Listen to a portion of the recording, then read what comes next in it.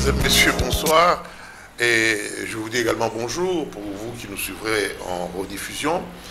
Euh, vous avez apprécié le titre de notre émission, euh, à considérer les informations retour que j'ai personnellement reçues et que mes amis ont également reçues ici et à l'extérieur du pays. Nous allons y revenir. Donc le catéchisme du bon citoyen avant, pendant et après les élections. Euh, je vous présente mes invités. Tout de suite à ma gauche, euh, c'est le professeur Mpoi Kamoulai. Professeur, bonsoir et bonjour. Bonjour et bonsoir. Alors, euh, Modeste Bonikaba, bonsoir et bonjour. Bonsoir et bonjour, Monsieur Kibambi. Monsieur l'abbé José-Pierre Mpundu est en route, il est en train de venir. Euh, je le saluerai quand il sera là. Chers amis, je vais commencer par Modeste Bonigaba. Quelles sont les informations retour qui sont remontées jusqu'à vous après la diffusion, la rediffusion et la re-rediffusion de notre ancienne émission? Eh bien, Notre dernière émission. eh bien, je crois que les, la plupart de réactions que j'ai enregistrées vont dans le même sens pour dire que il était temps d'aborder ce sujet-là. Parce que tout le monde est conscient que c'est dans l'urne que tout se passe. C'est dans l'urne que le destin d'un pays Se joue. se joue. Et donc, s'il faut multiplier des émissions pour que les gens comprennent très bien ce qu'on attend de- d'eux en tant qu'électeurs, ils sont tous d'avis qu'il faut effectivement multiplier des émissions pour expliquer cela. Parce que nous savons tous que ça n'a pas toujours été facile pour beaucoup de compatriotes. Je me souviens qu'en en 2006, lorsqu'il s'agissait encore, 2005, lorsqu'il s'agissait encore du référendum, il y en a qui venaient pour dire, ben, moi c'est Gizenga. Non. Là, c'est le référendum, il faut se prononcer sur un projet Oui. de Ah oui constitution qui vous est soumis, si vous êtes d'accord ou pas. Donc, manifestement, tout se joue là. S'il y a beaucoup d'électeurs qui, sont- qui se trompent euh, ou qui prennent ça à la légère, c'est là qu'on va avoir se multiplier encore d'élus qui s'appelleront Chance et Locopam. Merci. Professeur euh, vos réactions, les réactions qui, sont, qui vous sont parvenues. Alors, les réactions, il y a un, excusez-moi, un des euh, euh, mes amis qui a dit, Oh, mais ça c'était euh, du tonnerre. Je me dis, ah bon? Je dis oui, oui, oui, parce que ça, ça doit changer la donne. D'autres m'ont dit, mais non, vous savez, dans ce pays, ce n'est pas nous qui choisissons nos dirigeants. Et donc, votre exercice-là semble un exercice futile. Je dis, ah bon, réellement Je dis, mais continuez à nous éduquer. Donc, euh, c'était euh, ça, les deux réactions euh, les, les plus typiques. Par contre, les autres ont beaucoup aimé. ils ont dit que c'était vraiment très utile et que, en droite ligne avec les commentaires que mon vieux frère a reçus, qu'il fallait continuer à poursuivre notre conversation sur ce sujet ô combien important.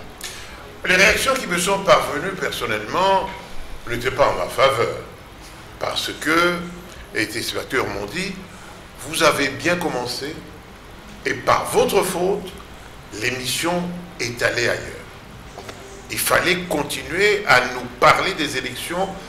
Vous avez posé une question qui a tout empoisonné parce que, euh, euh, disant, bon, il paraît que ceux qui ne sont pas nommés ici et tout ça, il paraît que l'émission a quelque peu dérapé avant de, avant de revenir. Alors, professeur, euh, parce que vous arrive souvent, enfin, tout le temps de poser des questions aux gens, il faut qu'on vous en pose euh, aussi. Oui, devenez professeur à votre tour. Bah, bah, non, non, pas professeur, journaliste. Ça me va, ça me Ah va oui, déjà. C'est le rôle des journalistes de poser des questions. Non. Voilà. Alors, le, le professeur, euh, le, le- le- monsieur l'abbé avait donné quelques... Que je, dont je salue l'arrivée d'ailleurs, voilà. je vous ai annoncé son arrivée. Monsieur l'abbé, passez carrément. Les, les gens, vous- non, c'est pas grave, même si on le voit, euh, c'est pas grave. Voilà. Monsieur l'abbé est là. Alors, je retire ma question au professeur. je vais la poser à monsieur l'abbé José-Pierre Boundou. Monsieur l'abbé, bonsoir et bonjour. Bonsoir et bonjour. Toutes mes excuses, vous êtes arrivé. Non, mais vous savez, euh, bon, vous nous avez fourni un catéchisme du, du bon électeur. L'article premier, est-ce que vous vous en souvenez encore? Oui, je m'en souviens. Oui, l'article premier, c'est? C'est que l'électeur doit choisir en âme en âme et et conscience. Bon, déjà le premier article. Modeste Modiba, commentaire. Eh bien, je crois que c'est là où le bas blesse. Parce que, justement, la conscience, la conscience politique de l'électeur n'est pas toujours au rendez-vous. Parce que si il avait effectivement cette conscience politique chevillée au corps, si je peux dire ainsi, mais on n'aurait pas les élus qui sortent de nos scrutins successifs. La plupart ne seraient pas. Parce que manifestement, ils sont là, un peu comme, dit, comme, comme par, par défaut. Les vrais citoyens qui mériteraient d'être là sont souvent laissés de côté. Parce que tout simplement, l'électeur lambda n'a pas voté En âme et conscience. en âme et conscience. Il a voté, comme dirait le Quinois, il vota, vota, c'est-à-dire, euh, il a demandé à quelqu'un, dit, bon, c'est tout, cette fois-ci, c'est qui? On choisit qui cette fois-ci. Et on lui a dit, bah, c'est elle. Donc lui-même, il ne s'est pas posé la question sur euh, le, le meilleur profil par rapport à ses attentes pour dire, en tout cas, l'abbé José, s'il passe pour être député, ce qu'il dit toujours quand on se voit dans des rencontres, dans des conférences, s'il continue à dire ça là-bas, là, les choses peuvent bouger. L'électeur qui va, qui voter, euh, euh, la plupart ne sont pas du tout conscients que c'est effectivement eux qui donnent le pouvoir. Ils croient que le pouvoir se donne ailleurs et eux font du folklore, juste pour montrer au monde que tiens, mais là aussi ils ont voté, tout ça, euh, tel a gagné, ainsi de suite. Alors que pour eux-mêmes, les jeux étaient déjà faits ailleurs. C'est pour cela que le premier commandement du bon électeur risque de ne pas être rempli. Et ça va être dommage. Professeur, un commentaire. Bon, le Par commentaire. rapport au Alors, euh, il y a, je ne sais pas si c'est de l'anecdote, euh, mais cette notion euh, que nos électeurs, nos compatriotes ne savent pas exactement ce qu'ils doivent faire, moi personnellement, je la remets sérieusement en cause. Pourquoi? Parce que nous avons tous suivi euh, nos pères évêques, en commençant par le premier d'entre eux, le cardinal Etsou, et euh, suivi par le cardinal euh, Monsengo, et maintenant le cardinal Ambongo, qui nous qui réclame toujours la vérité des urnes. Et nous tous, nous réclamons la vérité des urnes. Et les, instru- les instructions le rappellent qui nous est donné aujourd'hui que nous devons nous assumer pour être présents dans les bureaux de vote, pour nous assurer qu'à l'ouverture des bureaux de vote, les urnes qui sont transparentes sont effectivement vides et que à la fin du vote, les urnes qui ont été remplies pendant le vote sont dépouillées de manière transparente et que le comptage de vote est fait devant Témoin. témoins de manière transparente et que les résultats sont affichés dans chaque bureau de vote. Le président de la CENI, M. Kadima, nous a lui-même invité à faire exactement cela. Il a même comparé euh, à ce qui s'est fait en Égypte. Et il a indiqué dans son point de presse que les résultats qui avaient été annoncés n'étaient que conformes aux résultats que leur CENI égyptien avait déclaré. Donc je pense qu'il nous revient de faire confiance à notre peuple pour qu'il prenne euh, ses responsabilités.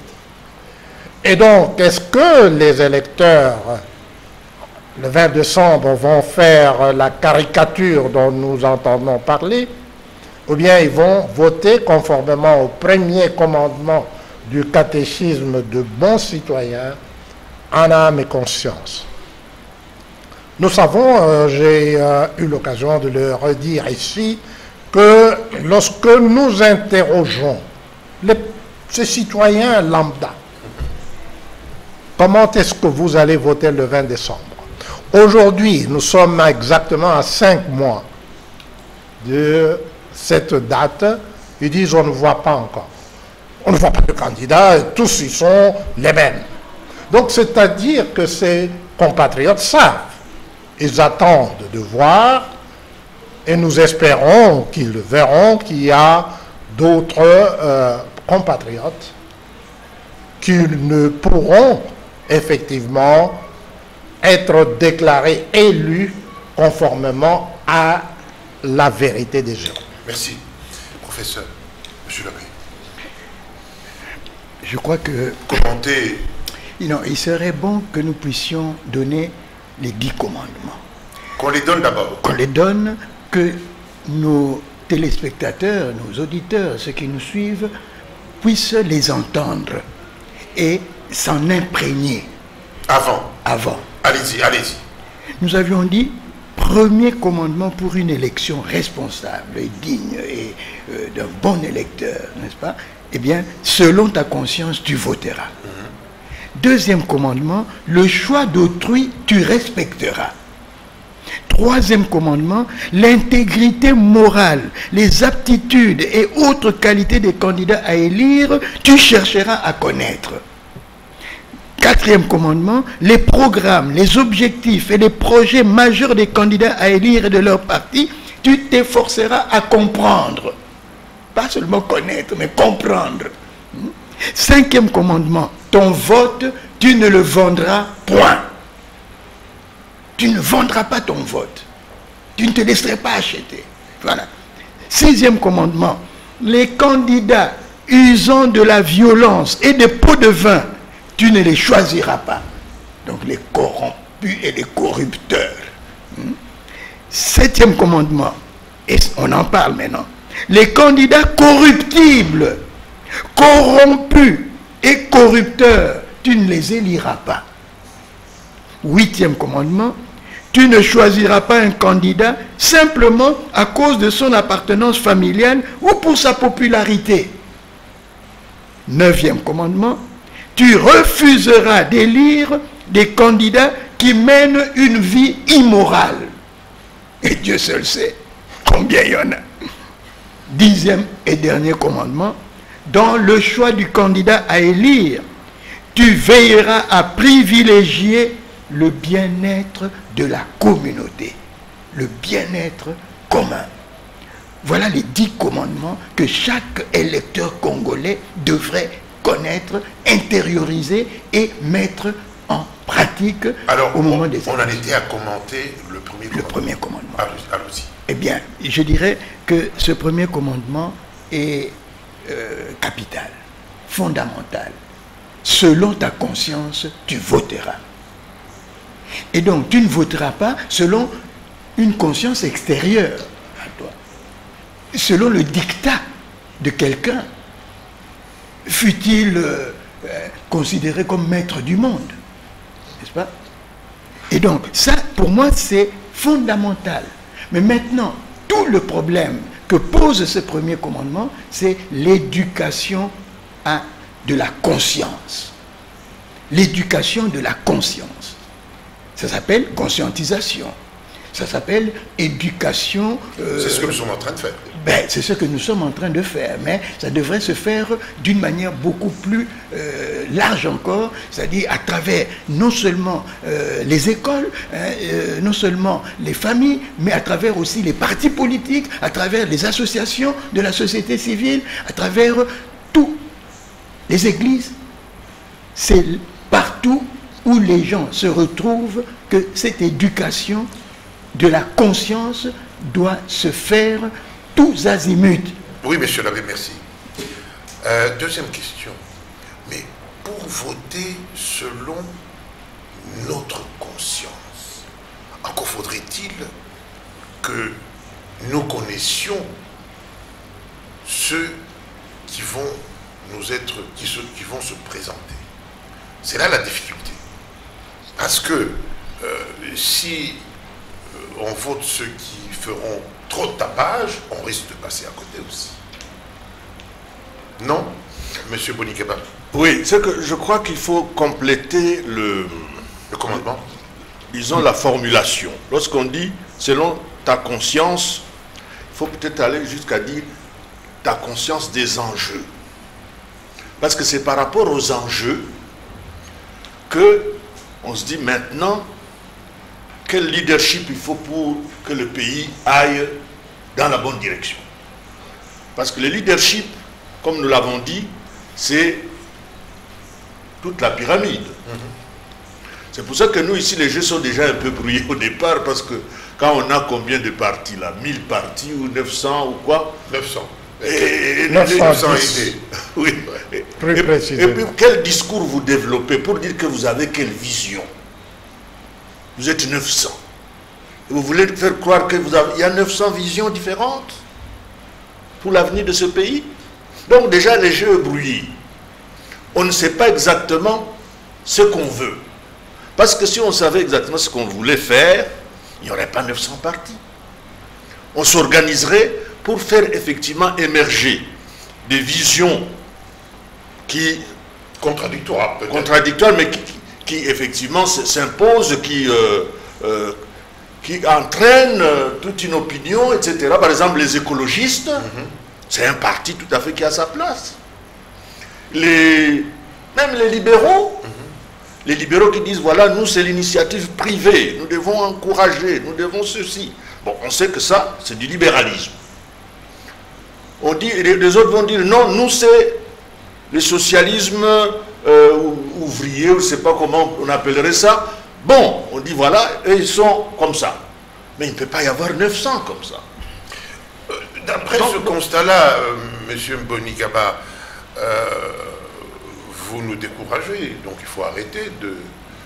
euh, Mais il faut, il faut, il faut montrer, il faut montrer, il ne faut pas s'en cacher, il faut montrer que c'est une difficulté. oui, Et que donc, déjà, on peut s'interroger sur l'issue d'un tel euh, exercice. Parce que il y aura, par exemple, pour la députation nationale, il y a 500 sièges. Bien. Et on risque d'avoir un élu pour chaque parti et. On se retrouve avec 500 élus, chacun venant de son parti. Je- J'exagère un peu. Mais vous voyez un peu la configuration que ça risquerait de donner. Donc les majorités vont commencer à se, fabri- à se constituer de quelle manière? Parce qu'au départ, vous n'êtes pas allé chercher le suffrage parce que vous défendez une ligne que les gens ont euh, majoritairement choisie et c'est comme ça que vous êtes là-bas. Ce n'est pas ce qui va arriver.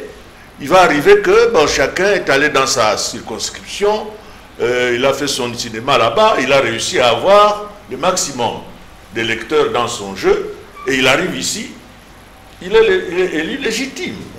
Mais pour porter quelle politique? Je ne sais pas si vous avez vu, euh, je ne sais pas qui a dit euh, que maintenant on a donné euh, la parole à n'importe quel imbécile. Moi j'ai vu sur la toile, on a montré, on a montré quelqu'un, un député de l'ancienne législature, qui voulait se présenter qu'on a tabassé. Vous avez vu cette image? Bah, bah, Oui. Ok, puisque vous l'évoquez. Euh, D'abord, je l'ai vu. Bah, je l'ai vu, mais ça me donne l'occasion de euh, dénoncer ici que Ah oui. ce n'est pas normal. pas démocratique. Nous sommes devenus un pays. euh, on parle. Le, le sang est devenu une chose qui attire. C'est incroyable. Mais je vais revenir aussi avec votre permission, Ben, bien parce que la question ne m'ayant pas été posée. Nous parlons de 910 partis politiques enregistrés, dont une trentaine, comme c'est pas moi qui le dis, c'est ce qui circule, les, euh, l'alliance des Tshisekedistes rénovés, l'alliance des Tshisekedistes d'hier, l'alliance des Tshisekedistes de demain, etc. Le problème euh, fondamental dans notre pays est que tous ces partis, euh, nous parlons de partis euh, et du multipartisme, mais ce n'est pas ça, c'est la caricature. Le véritable problème de notre pays, c'est où est-ce que nous allons, quel est l'homme ou la femme qui va nous conduire vers notre destin. Les parlementaires, l'abbé a évoqué à notre dernière euh, émission le fait que ailleurs on commence par les élections à la base pour remonter vers le haut. Mais ce cinéma que nous avons ici chez nous dans notre pays euh, depuis euh, les élections de 2006 euh, et qui continue ne pourra pas être modifié par la base. C'est pour ça qu'aujourd'hui, l'élection qui importe, ce n'est pas celle des députés, parce que euh, ça ne changera strictement rien du tout. En 2018, les euh, majorités, disons, euh, de l'époque, s'est retrouvées dans une coalition dite FCC. Cache. Cash. FCC Cash. Ou Cash FCC. C'est selon. Deux ans après, euh, exactement les mêmes individus se sont retrouvés dans une soi-disant nouvelle majorité dénommée Union sacrée. Donc le jeu qu'on est en train de jouer produira une des élections des personnes qui n'ont aucune vision parce que un parlementaire n'a pas de vision. Un parlementaire n'a pas de programme. Donc nous devrons déjà euh, éclairer tout le monde ici en disant que la raison pour laquelle les partis existent, c'est parce que ce sont des partis dans les régimes démocratiques, ce sont les partis qui portent une vision. Et à la tête de ce parti, au moment où on doit élire la personne qui doit conduire la nation, c'est la vision de ce parti ou la vision de cette personne-là portée par le parti. Ici, il est totalement évident que lorsqu'on parle de vision d'un chef d'État, qu'il s'agisse d'hier ou d'aujourd'hui, il s'agit d'abord d'une vision qui n'est articulée nulle part. Le peuple d'abord n'est pas une vision, je regrette de le dire. Et donc, pour ces élections, nous devons vraiment faire cette éducation que nous sommes en train de faire ici pour inviter nos compatriotes à réfléchir, à voir émerger une vision. Dire que je soutiens la vision du chef de l'État et tous les euh, candidats députés que nous voyons, euh, il suffit de regarder leurs euh, affiches. Je soutiens la vision du chef de l'État. Quelle est cette vision? Je ne sais pas. Ils ne savent pas. Elle n'existe pas. Voilà pourquoi l'accent que nous mettons sur les Ça n'existe candidats. Pas, euh, vous la connaissez ne pas. il y en a qui- Bah, mais je suis citoyen, donc je devrais la connaître. Et je ne sais pas si autour de cette Ben, table, c'est il pas, y a là, des... n'est pas la question, ne posez pas une autre question. Ah bon, bon, mais ok. Je compris le recadrage. oui, mais il a parlé, euh, il a usé de sa liberté, pourquoi C'est ça, normalement. Monsieur l'abbé, qu'est-ce que vous dites de tout cela? J'ai été entendu prononcer un mot, le mot arrêter.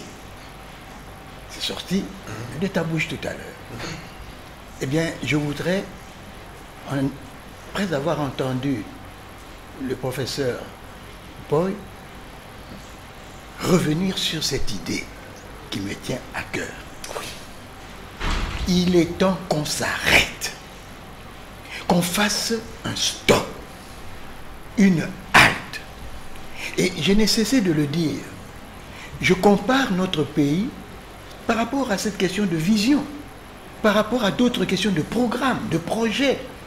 Parce qu'il faut distinguer vision, hein, programme, euh, disons projet et programme.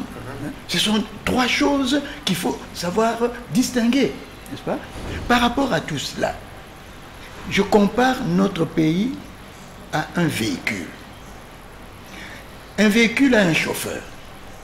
Et je comprends maintenant euh, ce qui est sorti de la bouche du professeur depuis l'émission euh, passée, hein, euh, où il est revenu sur l'importance de l'élection présidentielle.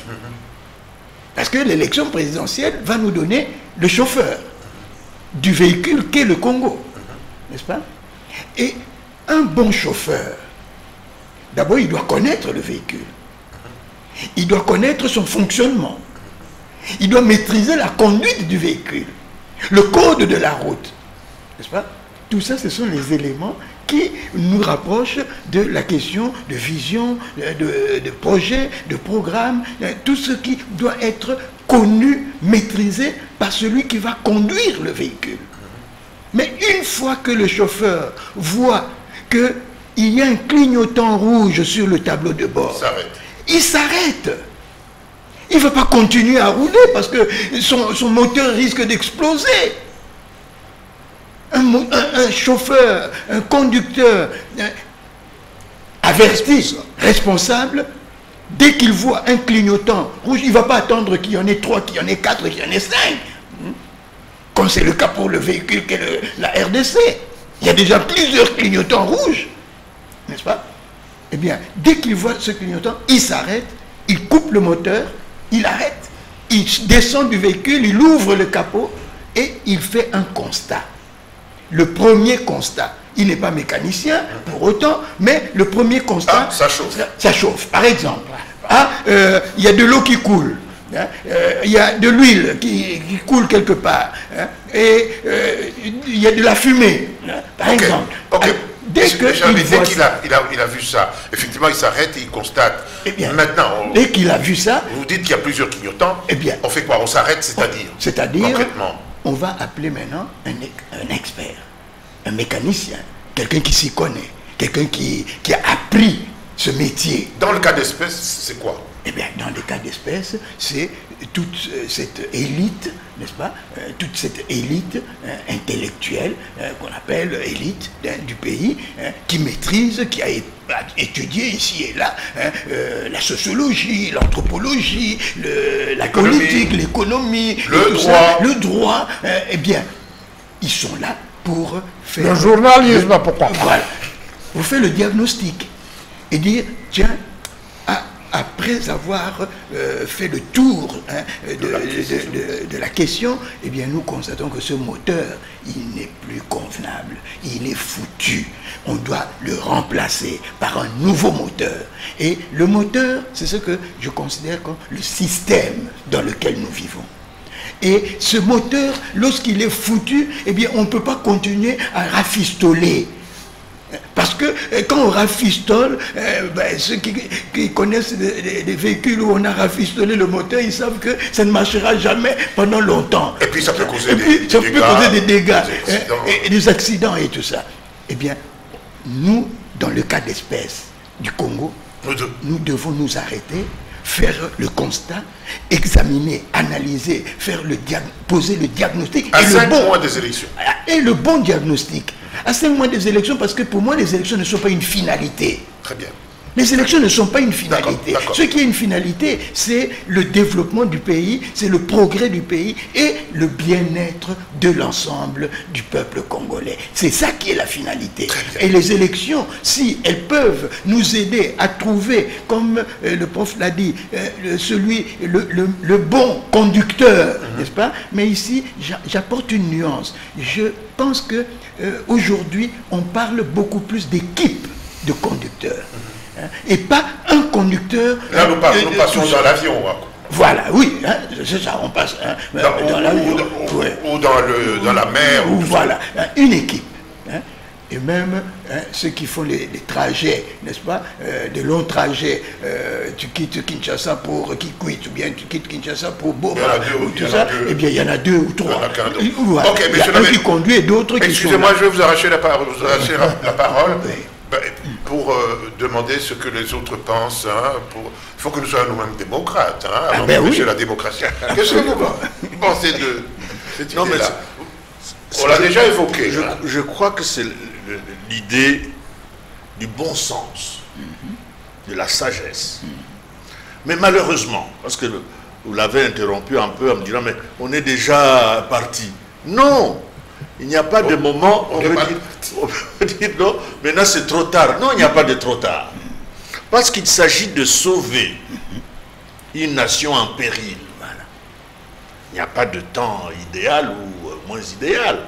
Lorsqu'on constate qu'il y a ce péril-là, il faut avoir le courage de dire, effectivement, il faut qu'on fasse une pause. Mais moi, j'ajoute que la pause-là ne signifie pas que, bon, euh, du- jour au lendemain, on ferme tous les bureaux, il n'y a plus rien qui tourne, en attendant qu'il sorte euh, un autre euh, diagnostic qui vient nous dire ce qu'il y a à faire.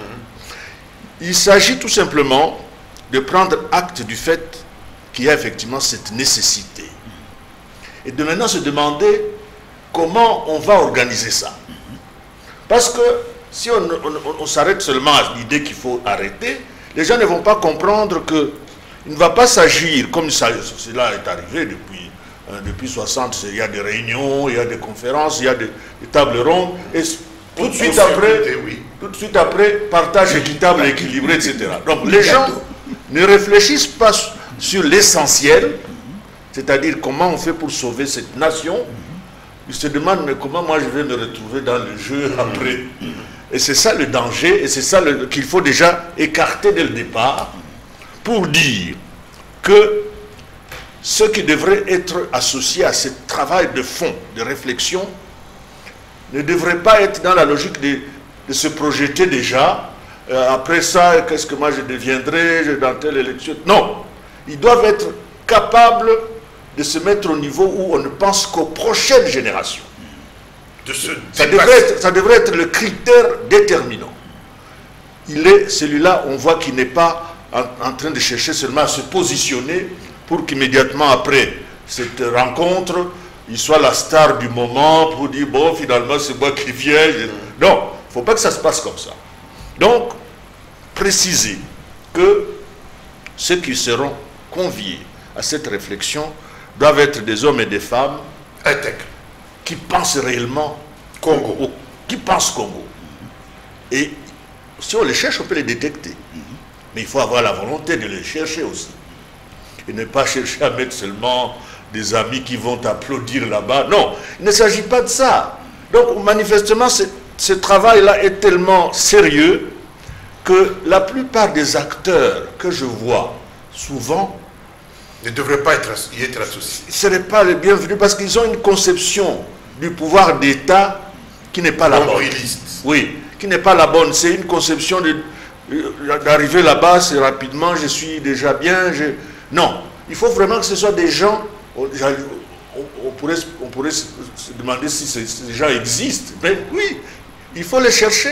Des gens qui ne pensent pas nécessairement à être élus demain. Des gens qui sont même prêts, peut-être on leur, leur demander ça, de ne pas se positionner pour l'après. Donc, ils, sont capables de renoncer solennellement à tout mandat électif après. Ces gens-là existent, ces hommes et ces femmes existent, qui ne voient que le Congo. D'accord. Professeur. À ce mon tour. Ah oui, c'est votre tour. Ah bah, merci beaucoup. Oui, mais peut-être un peu de droit. Ah, mais, vous avez lu dans ma pensée. Exactement, parce que je disais, je m'apprêtais à dire que je vais maintenant porter ma casquette de juriste. Très bien. Parce que j'ai écouté religieusement. Et d'abord, l'abbé a parlé du système et de comment on doit remettre tout ça à jour. Euh, dans n'importe quel pays, ça s'appelle la Constitution. C'est à travers la Constitution qu'un pays se remet à jour. Ce n'est pas seulement euh, dans n'importe quel pays, parce que je suis à côté d'un prêtre catholique. Très actif. Ben, que j'ai failli devenir. Et donc, même ah, à l'église. Ah oui. Euh, ah oui. Et donc, même dans l'église, l'aggiornamento, voilà. Le Vatican II, c'était la remise de tout à l'heure. Et donc, euh, tous les documents conciliaires qui sont sortis sont les constitutions euh, pour telle, telle, telle activité. Donc, un pays, toute structure se remet en cause et se renouvelle à travers sa constitution. Ça, c'est de un. De deux, j'ai entendu mon vieux frère parler de ceux qui devraient convoquer les gens de bonne volonté, etc. Mais ce qui de bonne foi, de bonne foi et qui ne voit que l'intérêt de la nation. Mais c'est qui Ce sont les professeurs Oui. Non, pardon. Bon, soyez toujours taquin. Vous savez que notre peuple dit euh, à tort ou à travers, ou à tort ou à raison, que ce sont les professeurs qui ont tué ce pays. Oui, parce qu'ils sont Alors, euh, euh, Bon, donc, donc moi, je mets la casquette de juriste et je reviens pour dire, pas celle de professeur de droit, mais de juriste, pour dire que euh, le pouvoir est toujours détenu et exercé par un individu. Dans l'Église catholique euh, qui, euh, nous est qui nous est tous familière, c'est le pape. Dans un État, quel qu'il soit, même une monarchie constitutionnelle, le roi ou la reine euh, n'est pas là pour rien. Même si c'est le Premier ministre qui, conduit les affaires. Oui, mais ce Premier ministre, et donc, cet individu c'est la seule personne qui est investie du pouvoir de dire maintenant, nous devons arrêter. Alors quand cet individu, euh, euh, quand l'individu qui a le pouvoir n'agit pas, dans ce sens-là, on voit ce que nous avons vu et qui est en train de se euh, revenir à la mode en Afrique francophone. J'ai cité le Mali, le Burkina Faso, la Guinée, le Tchad, et j'espère que le Congo, la RDC, ne sera pas, n'allongera pas la liste. Mais pour que Dieu puisse nous en garder, nous devons prendre conscience que l'élection du 20 décembre 2023, dans cinq mois, jour pour jour, c'est la seule occasion que nous avons de démontrer à la face du monde que nous avons choisi la personne qui comprend là où se trouve notre pays aujourd'hui et en qui nous allons investir ce pouvoir de nous rappeler et de nous dire nous avons un système qui ne marche pas, nous devons remettre ce système à jour et nous ne pouvons le remettre à jour qu'à travers une nouvelle constitution. Et pourquoi est-ce que je dis ça? La constitution que nous avons actuellement prévoit, et c'est écrit que le chef de l'État n'est pas le chef du gouvernement. Est-ce que c'est ce que nous vivons dans la pratique? Et alors on nous dit que non, nous sommes des Africains. Eh bien, euh, M. Macron nous l'a lancé à la figure. nous nous arrangeons à l'africaine. Non, nous avons besoin de remettre les pendules à l'heure. C'est pour ça que la gesticulation pour l'élection des députés est un exercice vain et futile. Nous devons prendre la pleine mesure de l'importance du 20 décembre. Parce que si nous n'arrivons pas à comprendre cela, si nous n'arrivons pas à choisir l'homme ou la femme qui comprend, comme l'abbé l'a si bien décrit, un chauffeur qui a pris la mesure du véhicule qu'il est en train de conduire ou qu'il est appelé à conduire. C'est pour ça qu'elle a pris euh, un exemple que nous comprenons tous, le, le, le, véhicule qui est un mécanisme très simple, mais l'avion qui est déjà beaucoup plus sophistiqué. Lorsque on met euh, euh, le pilote et le copilote, parce qu'il a parlé du leadership d'équipe, mais le pilote et le copilote, lorsqu'il monte dans le cockpit, il commence par faire les checklists. Il contrôle un à un chaque point. Et lorsqu'il se rend compte que l'avion n'est pas en état de décoller, il ne décolle pas. C'est aussi simple que cela. Et c'est cela, c'est cet exercice auquel nous sommes appelés. Et le point de départ, c'est le 20 décembre 2023. Monsieur l'abbé, Limbolela nano parce que oyo ekomi ekomi mwa mwa kaka ekomi mwa kaka to are wana yebisa biso na lingala kotelema oui mais kotelemisa motuka toza kotia mobulu na mitu ya bato te te mobulu ezali te soki ozali kotambwisa motuka omoni te na kati ya motuka na yo ebandi euh, mwinda ya euh, motane ebandi kopela. Okosala nini? Yo mokumbi motuka. Okotelema okokata euh, moteur ya motuka na yo obimi ofungoli otali nini ezali kolekaikoyo concrètement elingi koloba tosengeli komituna mituna miye. Tozali wapi? Touti wapi? Tozali wapi? Tozokende wapi? Tolingi kokende wapi? Pamba te soki tolobi tozokende wapi ekozala lokola bazomema biso. Mais soki tolobi tolingi tokende wapi elingi koba biso nde tokozwa mokano ya koyeba esika nini biso tolingi tokenda soki tobi tozokende wapi eh, eza kwa bato bazotindika bango bazo- bazokende kaka ndenge wana eh, ça. Mais soki bato babi te tolingi kokende wapi elingi koba bakokanisa mpe bakomilobela bango nyonso lisanga te biso kongo tolingi yango oyo. Esengeli kozala boye esengeli kozala boye esengeli kozala boye. Tosala yango sikoyo mpo te na le 20 décembre soki maponamima kozala na le 20 décembre tokopona engebene na mosala oyo tosali ya kokanisa kongo ya sikoyo tolingi kotonga pamba te soki tolobi tozela eh, mokolo oyo wana eh, tokozongela oyo tomeseni kosala eloko mosusu nakanisi eza na motuya monene. Mpe nalobaka yango mbala na mbala. Na congo na afrika tosengeli kokeba na baye babiangami bakandida na présidence. Pamba te soki tosali toyekoli bango te mpo na koyeba bauti wapi? Bazali kosalela banani? Estce bazali kosalela biso? Bazali na makanisi ya basimbi mboka?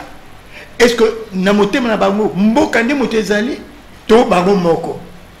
Mpe banani bazali na nsima na bango. Population to bato basusu oyo toyebi badongola miso eh, oyo bazali eh, kotala mboka na biso lokola eh, esika ya kotoka ya kotoka eh, liziba ya kozwa eh, biloko ndenge na ndenge nkita na biso na se mabele et tout ça bakotia moto oyo bango balingi oyo bango balengeli mpo eh, te asalela bango na ntango wana bato to- tozomona yango na ntango wana mobutu alobaki yango polele eh, alobaki ngai naza na eloko eh, ya ko c'est la binoté. Naza, je ne vous dois rien. Hein. C'est vous qui me devez tout. Ça veut dire quoi? Je dois à ceux qui m'ont placé là. Je dois rendre compte à ceux qui m'ont placé là. Et nous voyons, nous le voyons, avant les élections, où est-ce qu'ils vont? Et pendant leur règne, où est-ce qu'ils vont? À qui est-ce qu'ils rendent compte? Est-ce qu'ils rendent compte à la population de leur gestion? Et lorsqu'ils font semblant de rendre compte, ils font bien semblant de rendre compte. Est-ce que, est tout ça personnalisé ma Toujours personnalisé, toujours mon ndenge et salemi indépendance nabiso. Ok. Donc eza te songolo topakala tozolobela songolo topakala te. Tozoloba ndenge mboka na biso etamboli uto lipanda te na moi ya lelo. Boyo nyonso bakambi mboka bakomimona na kati. Moto na moto amimona esika nini azali. Tolobi songolo te tolobi mpe pakala te. Moto na moto amimona me nangi nasukisa bobe na likamboli ye ndenge euh, papa professeur alobaki alobi alobi en tant que juriste hein, nakanisi constitution hein, esengeli tobanda koyekola yango uto lelo. Ezali te tozela et puis ya mibale constitution il faut à partir ya emoneli na biso bacongolais ya mboka ya makambo. Vision na biso bacongolais culture na biso bacongolais mimeseno na biso bonkoko na biso bacongolais tosengeli kosinspire na yango. Tosengeli kozongela yango. Mpo constitution na biso ezala te bakomeli biso yango na basongolo na bapakala na libanda baye kopesa biso yango ekokani na diso bomoto na biso te ekokani na emoneli na biso te ya makambo. Na ntango wana ebien ekobotela biso kaka mikakatano ndenge na ndenge. Merci merci. Euh, modeste boligaba est-ce qu'on n'aurait pas dû depuis quelques années faire cet exercice? Là nous le faisons moi j'ai l'impression qu'il est un peu tard, non? C'est-à-dire qu'il y a des gens qui ont toujours cherché à attirer l'attention là-dessus. Nous aussi d'ailleurs. Hein. Oui, chaque fois qu'il y a des grands rendez-vous dans ce pays, pourquoi ça capote? Parce que justement, on abandonne cette question de fond pour rester dans le... Dans le hein, tralala. Le tralala, bon, qui sera là, qui va... Donc on oublie que l'édifice repose sur du sable l'édifice n'est pas construit sur du solide. solide. Parce que, comme l'a dit M. l'abbé, en 60, c'était indépendance tcha Mais en réalité, Tobinaki et puis... On se rend compte qu'il n'y a jamais eu d'indépendance. Mais on a dansé, on a, on a fait des choses comme si on était réellement indépendant. En 90, on nous parle de démocratie. Alors qu'en 60, déjà, on avait essayé, mais ça avait mal tourné. La plupart des pays sont devenus des, régimes à parti unique. En, 80, on dit, en 90, on dit non, maintenant il faut revenir à, la démocratie, c'est ça, ça la, voie qu'il faut suivre. Sinon, d'ailleurs, on ne va plus vous donner notre aide. Vous l'avez conditionné. Alors, du jour au lendemain, même Mobutu qui venait de faire 30 ans euh, de dictature, il s'est transformé du jour au lendemain en démocrate. Vous faites Boigny là-bas, d'autres qui ont fait des, décennies au pouvoir, parce que euh, maintenant on dit que c'est la démocratie. Bon, nous aussi on est démocrate. Sans contenu chaque fois. Aujourd'hui, l'appel qui est lancé, c'est pour dire, vous, vous, avez tous observé que l'indépendance là, il n'y avait rien. La démocratie aussi, Manifestement, il n'y a pas grand-chose dedans. Mettons-nous autour d'une table, réfléchissons sur tout ça. Quel contenu devons-nous donner à cette indépendance pour qu'elle soit effectivement profitable Parce que vous avez parlé de, Mobutu, et nous avait proposé euh, trois, parties. On pourrait dire, euh, bon, allons, allons, sur cinq parties et on arrête là. Parce que euh, manifestement, la démocratie intégrale, le parti intégral, ça a été une, Multipartisme. disons que, disons que c'est à peu près ça, mais il faut plutôt déceler les grandes tendances. Parce que manifestement, il ne peut pas y avoir plus de 4 ou 5. Si on regroupe tous ces partis en famille politique qui ont, qui ont un dénominateur commun. À ce moment-là, on a cinq grands partis qui sont d'ailleurs financés par l'État, parce que là, ça devient possible pour l'État de financer un parti politique, quatre ou cinq partis politiques, de manière à ce que il n'y ait plus ce phénomène auquel nous avons assisté, la mort dans l'âme, la transhumance. La transhumance, c'est tout simplement parce que ces gens, c'est le ventre. Donc si les partis sont rationalisés, on fait en sorte qu'on ne retienne que les partis qui, ont, qui portent effectivement une vision, un projet, quelque chose, il y en aura peut-être 4 ou 5, et là l'État peut financer sans problème les 4 ou 5 partis. Et les gens qui sont ce qu'on appelle les permanents dans les partis, eh bien, ils seront salariés.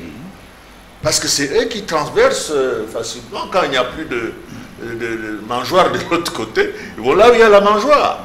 Mais si tout le monde qui travaille, qui n'a que ce travail du parti comme activité, il a un salaire convenable, il ne va pas quitter son parti parce que le pouvoir est parti de l'autre côté. Très bien. Euh, je ne sais pas pourquoi je, voulais vous appeler, monsieur l'abbé. Nous avons qu'on Mais je ne sais pas. Bon, mon frère. Je, Alors. Vous n'êtes pas le seul dans mon cabinet. Bon, il ne reste plus beaucoup de temps. Allons-y. Ce que nous proposons, c'est très clair. Hein, mais moi, je suis toujours provocateur. Pourquoi nous ne le serions pas ça à la progéniture. Nous, nous sommes déjà presque dépassés. Vous voulez qu'on s'arrête maintenant, vraiment Alors, qu'on laisse, encore, nos enfants. Mais vous l'avez dit vous-même la provocation. Alors, je vais vous dire qu'il n'y a pas de provocation du tout. Je vais commencer par euh, les démocrates, tous ceux qui agissent en tant que démocrates. Euh, le plus vieux d'entre eux, euh, aujourd'hui, c'est peut-être le pape François. Il a 80 7 ans bientôt. Biden en a 80. Alors je ne parlerai pas de roi, la reine d'Angleterre est allée jusqu'à l'extinction totale.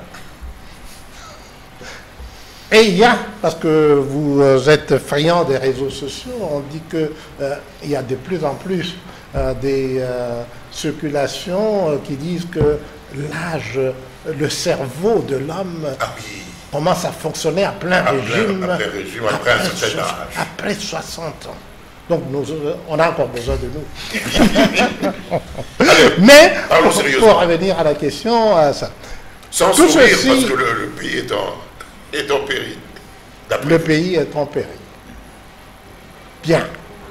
Mais euh, moi, évidemment, vous m'appelez Monsieur l'abbé, je, euh, le, Christ, reste ma référence absolue. La remise à jour de notre Église catholique a été initiée par le pape, le Saint Jean XXIII. Après lui, ça a été repris par euh, Saint Paul VI. Après Paul VI est venu Jean-Paul Ier qui n'a pas fait long feu, et puis Jean-Paul II a continué la mise en œuvre de ce qui a été décidé. Pourquoi est-ce que j'insiste là? Parce que nous parlons toujours ici de il faut que, il faut que. Non, c'est pour ça que la date du 20 décembre est la date et l'occasion que nous devons saisir pour faire ce qu'on fait dans l'Église catholique. Lorsque un pape meurt et que le conclave se réunit en secret, mais on sait, on sait par exemple que le pape actuel, on avait déjà annoncé qu'il allait devenir pape. Donc il y a des choses qui filtrent, pas que l'on en dise. On cherche l'homme, parce que là-bas il n'y a pas de femme. L'homme. Oui. oui. L'homme qui a ce qu'il faut pour reprendre la charge et mener la barque. Et lorsque dans une société où on n'arrive pas à faire ça, c'est pour ça que ça arrive, ce que j'ai cité, le scénario connu. En 1965, nous n'avions pas trouvé cet homme parce que les politiciens de l'époque, ça allait dans tous les sens. Et donc, un certain, dans la nuit du 24 novembre, un individu s'est levé et il a pensé, il a pris sur lui la responsabilité de nous remettre sur le droit chemin.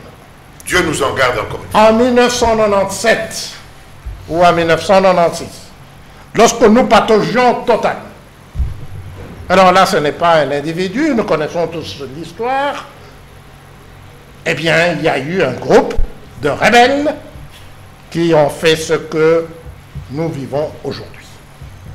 Devons-nous attendre qu'il en soit de même après, après le 20 décembre 2023 Voilà la question essentielle. Votre réponse est non, bien entendu. Ma, ma réponse est que le 20 décembre, c'est notre opportunité de faire cela. Allons chercher, mon vieux frère a dit que cet homme ou cette femme existe déjà.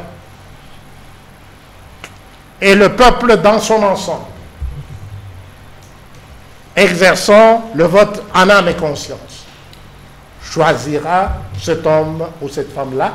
C'est l'exercice que nous devons faire chaque jour à partir d'aujourd'hui. Monsieur l'abbé, il ne reste plus que 10 minutes, un, un peu moins. Soyez moins bavard que certaines personnes. Eh bien, je vais euh, être sans les nommer. moins bavard en insistant sur quelque chose sur lequel souvent on veut passer à côté. Et moi je reviens là-dessus, c'est la grande question de notre souveraineté. Pour que le 20 décembre, nous puissions réaliser ce que le professeur évoque là, un choix responsable de quelqu'un qui va conduire ce pays selon notre vision commune, n'est-ce pas? Selon euh, nos intérêts à nous, il faut qu'à un moment donné, nous puissions nous délier, nous libérer de ce qui nous maintiennent, je dirais, dans une certaine, euh, euh, je dirais, dans un certain esclavage, dans une certaine tutelle. Est-ce que vous n'êtes pas en train de demander une révolution intérieure de chaque Congolais Absolument, une révolution culturelle, une révolution mentale hein, et une remise en question du système. Et quand on parle du système, euh, je crois qu'il ne s'agit pas de revoir le système, il s'agit de changer de système. Il faut passer d'un système à un autre. Et je ne cesserai de dire que le système actuel, il faut qu'on ose le dire, c'est un système fondé sur le primat de l'avoir. Et nous le voyons. Nous le voyons le, pays ici, depuis 1885, est considéré comme un patrimoine commun hein, de tout le monde. Et qu'est-ce qui est considéré? C'est le sous-sol, ce sont les richesses, les ressources. Qu'est-ce qui nous pose problème aujourd'hui? Tout le monde est d'accord pour le dire, ce sont les ressources naturelles du Congo qui posent un problème. Parce que les gens qui viennent, ils ne viennent pas pour le Congolais, ils ne viennent pas pour les beaux yeux du Congolais, ils ne s'occupent pas du Congolais, ils s'occupent d'abord de ce qu'ils peuvent tirer hein, du sol congolais. Et j'en donne pour exemple ce que je viens de vivre à Kolwezi. Je viens de Kolwezi. Et j'ai vu, de mes yeux vus, j'ai entendu, de mes oreilles entendues, sortant de la bouche de ces mamans qui étaient là réunies en forum des mamans catholiques, premier forum organisé à Kolwezi. Les mamans qui se plaignent en disant, vous nous demandez de cultiver. Bon, nous cultivons pour avoir de quoi manger et tout. Mais le lendemain, on vient vous dire que ici il y a des, des, minéraux. Nous devons aller vous évacuer, euh, finir les champs. On va ici faire une carrière pour exploiter les, les, minerais qui sont là-dedans. Et on, hein, on délocalise hein, des populations. il n'y a pas qu'à Colosie, hein, mais je parle de Colosie parce que je viens de là et je l'ai vécu, n'est-ce pas? Une façon de dire que ce qui importe finalement, ce n'est pas l'homme, ce n'est pas l'être, ce sont les choses. Alors, je crois qu'il est important, avant le 20, que nous prenions la mesure du combat de libération, du combat de, euh, de souveraineté, du combat de la vraie indépendance. Si nous ne prenons pas la mesure de cela et que nous ne nous organisons pas en fonction de cela, le 20, nous risquons de nous retrouver devant le même scénario. C'est-à-dire, quelqu'un a été déjà choisi par ceux qui se considèrent comme les maîtres du monde. Je dis bien qu'ils se considèrent comme les maîtres du monde et que parfois nous-mêmes nous considérons comme les maîtres du monde. Eh bien, euh, il est déjà choisi. On nous fait faire une parodie électorale et après, on va proclamer euh, non pas ce que le peuple aura, euh, celui que le peuple aura choisi, mais on va proclamer celui que eux ont déjà choisi de toute éternité. Mais de toute façon, et alors, monsieur je le termine. Oui. Permettez-moi de terminer en disant que fine finalité, la vérité des urnes dont parle l'Église catholique et d'autres personnes ne serait qu'un vain mot. Monsieur l'abbé, euh, je voudrais ajouter quelque chose que notre ami euh, Modeste Mondicam avait dit un jour. Si le peuple, euh, en parlant de marche, si même ceux qui dictent leurs lois ici voient que le peuple sort, tous, tout le monde, tout le peuple, chez eux c'est comme ça que ça se passe, ils nous prendront au sérieux. Donc, si pour les élections à venir, on voit que c'est tout le monde qui a bougé, eh ben, ils, res- ils respecteront, euh, comment je veux dire, ce choix-là. Je me trompe?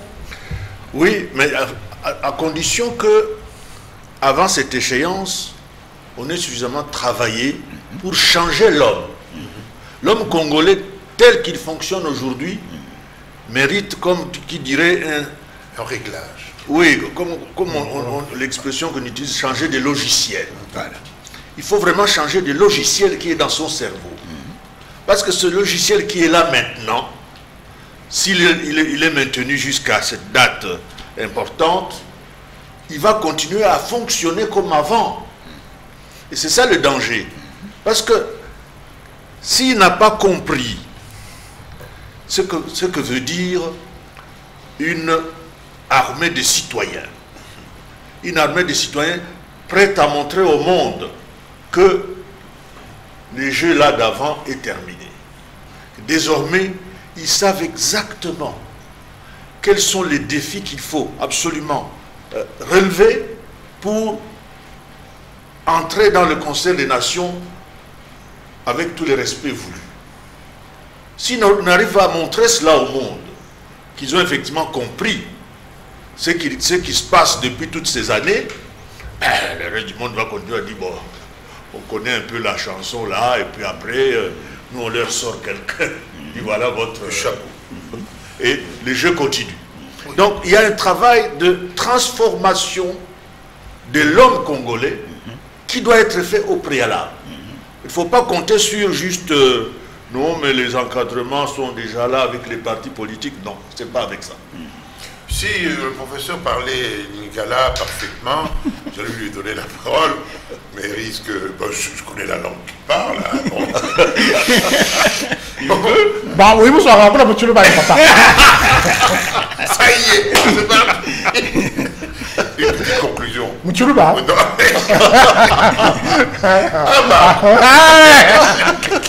Voilà, ça c'est des profondeurs.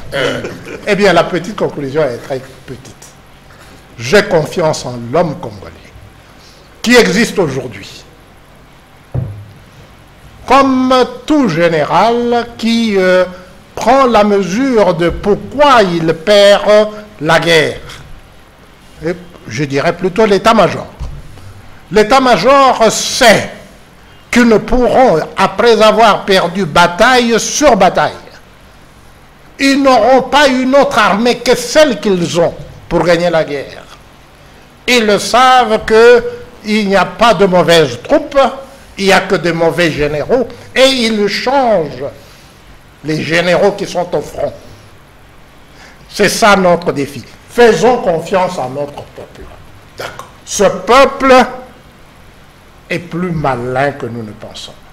Et je ne vais pas abuser parce qu'on va donner une minute. J'en ai déjà consommé deux. Regardez ce qui s'est passé au Sénégal. Il y avait un président qui était muet. Et lorsque le peuple s'est exprimé, il a fini par comprendre qu'il ne pouvait plus continuer à demeurer muet. Notre peuple est grand, est capable de grandes choses. C'est ce peuple, avec des parents, nos parents, nos grands-parents, qui étaient moins sophistiqués que nous, qui avait fait de ce pays la colonie la plus avancée d'Afrique noire. C'est ce peuple qui fera de ce pays, qui transformera ce pays en Eldorado africain. Merci, professeur, pour euh, cette petite conclusion. Je crois, après que mes amis ont parlé, il euh, faut que je sois modeste, c'est ma qualité, même si de temps en temps je provoque. Je vais me taire afin que toutes ces idées puissent entrer dans les têtes des destinataires, c'est-à-dire vous, nos chers téléspectateurs, qui nous faites de plus en plus confiance. J'ai voulu qu'on en parle un peu à Lingala et M. l'abbé s'est exprimé de façon parfaite. Je sais que si j'avais donné le micro à mon ami Bonikawa pour parler Swahili, n'aurait pas. Enfin, pourquoi je lui prête des intentions qu'il aurait. Ce sera pour la prochaine. Ce sera pour la prochaine fois. Merci et en 15 jours. Au revoir.